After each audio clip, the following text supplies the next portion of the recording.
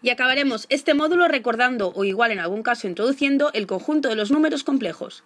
Puesto que dedicaremos el último de los módulos de este curso a hablar más en profundidad de este conjunto de números, nos limitaremos aquí a dar una pincelada sobre sus principales características de la mano de la historia. Y comenzaremos, como hemos hecho con el resto de los conjuntos numéricos, esto es planteando la resolución de una ecuación. En este caso, la ecuación es x al cuadrado más 1 igual a 0. Si intentamos resolverla, nos encontramos con que un tal x que verifique la igualdad, esto es que x al cuadrado sea igual a menos 1, debería ser la raíz cuadrada de menos 1. Pero hemos visto que la raíz cuadrada de un número negativo no tenía solución en el conjunto de los números reales. Así pues, esta ecuación no tiene solución en el conjunto de los números reales. Nuestra aproximación será, al igual que hemos hecho en los casos anteriores con los enteros, los racionales o los reales, considerar un nuevo conjunto en el que esta y otras ecuaciones similares sí que tengan solución.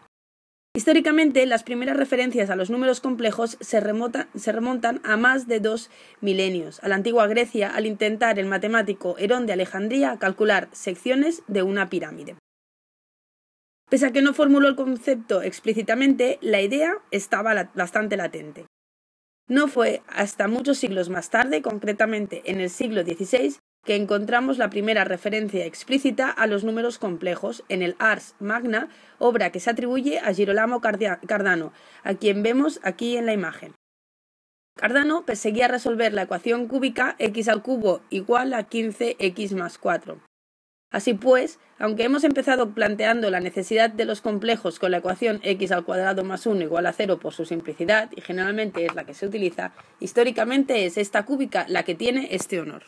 No fue hasta el siglo XVII que el gran matemático suizo Leonhard Euler introdujo la notación de i para denotar a la raíz cuadrada de menos 1 con este valor. Así pues, denotamos de esta manera la solución de x al cuadrado más 1 igual a 0. Notamos que si este es el valor de i, pese a que no hemos definido el producto, podemos intuir que i al cuadrado será menos 1. Y de aquí, i al cubo, que será i cuadrado por i, podremos decir que será menos 1 por i, con lo que será menos i. Y a la cuarta, que será i cuadrado por i cuadrado, será menos 1 por menos 1, esto es 1.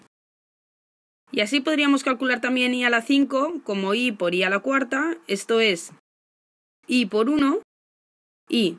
Y en general, esto nos permitirá, este tipo de razonamiento nos permitirá calcular cualquier potencia de i, como veremos en el módulo 5. Así, definiremos a los números complejos como el conjunto de los números que se pueden representar de esta manera, como un cierto número real a más b veces i, donde b es otro número real.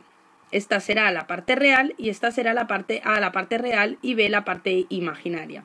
Si notamos con Z al número complejo, notaremos de esta manera la parte real y de esta otra a la parte imaginaria. Veremos en el módulo dedicado a los números complejos que podemos cómo podemos operar con los elementos de este conjunto, la cual cosa nos permite conocer su estructura. Pero os, avanzo, sin embargo, que estamos también ante otra estructura de cuerpo utilizando la operación de suma y de producto, que veremos allí cómo, eh, cómo se define. Un ejemplo de números complejos sería 1 más 2i o bien raíz de 2 menos pi. Recordar que solo solicitábamos de que a y b fuesen números reales. Notar que, en particular, el conjunto de los números reales es un subconjunto de los números complejos, puesto que solo hace falta considerar b igual a cero.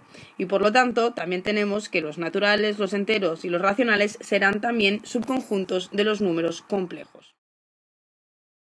Y acabamos así el primer módulo del curso, con esta breve introducción a los números complejos. Aplazamos los ejercicios de estos para el quinto módulo, donde los trataremos más en profundidad, definiendo, entre otras, las operaciones y la estructura en este conjunto de números.